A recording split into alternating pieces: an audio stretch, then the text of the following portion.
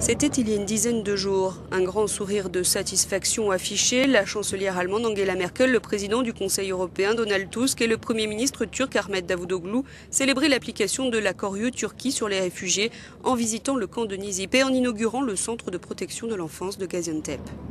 Le message était clair. En se rendant sur place pour constater que la Turquie respectait les conditions d'accueil des migrants, il décourageait les réfugiés d'aller plus loin.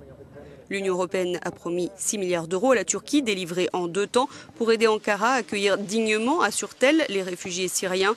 L'accord dont la légalité et la moralité ont été contestés par les Nations Unies et les ONG internationales avait été signé le 18 mars dernier. Nous sommes tombés d'accord sur le fait que tout migrant en situation irrégulière arrivant de Turquie sur les îles grecques après le 20 mars sera renvoyé en Turquie. La mise en œuvre de cet accord sera graduelle et elle est basée sur le principe du 1 pour 1, déclarait alors le président du Conseil européen.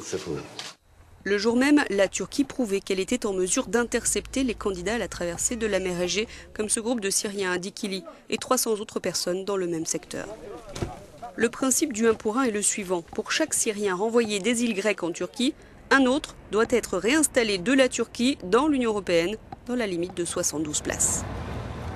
Les premières déportations de migrants syriens inclus ont commencé le 4 avril depuis l'île grecque de Lesbos vers Dikili. Il s'agissait en majorité de Pakistanais et d'Afghans. Symboliquement, le même jour, 16 réfugiés syriens étaient accueillis en Allemagne, près d'Hanovre.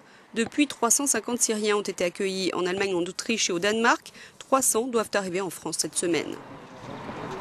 Selon cet accord, la Turquie doit aussi obtenir l'exemption de visa pour ses citoyens vers l'espace Schengen d'ici juin. Mais Ankara doit satisfaire 72 critères et serait encore loin de les remplir. La Commission européenne rendra son rapport ce mercredi 4 mai. La Turquie a plusieurs fois prévenu qu'elle romprait l'accord avec l'Union européenne si l'exemption de visa n'était pas accordée à ses citoyens.